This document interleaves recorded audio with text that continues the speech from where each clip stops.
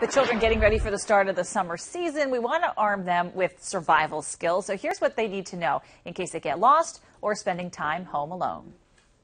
Would kids really know what to do in certain situations? We wanted to know, so we quizzed students at Eshleman Elementary to find out. If you were lost, what would you do? I'd probably stay put and just tell them where I was. It depends. Like if I'm camping and my parents stay stay here and they don't come back, I won't really wander because they might come back.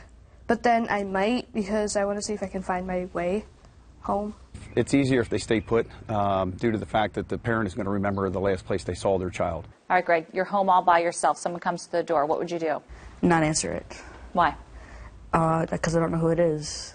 we have a window like and it like overlooks the door kind of so i would first look out the window If somebody comes to the door and they have bad intent, uh, that, that curtain rustling around is going to let them know that somebody is in fact in, inside. If someone calls your home number, what would you do? Would you pick up if you're home alone? i wouldn't pick up because my mom tells me not to Do you know your mom's name? Yeah. Her first and last name? It's very important for parents to teach their children as early as possible, uh, as long as they can retain the information, uh, the proper spelling of their name, their address, and their phone number. That is the, the greatest uh, of help when a child is lost.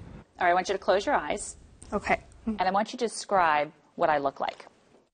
You're wearing a pink coat thing with black buttons. you had black heels on and uh, you had dirty blonde hair and you don't have any bangs. a black skirt with like like a sort of like a ruffle underneath, black tights.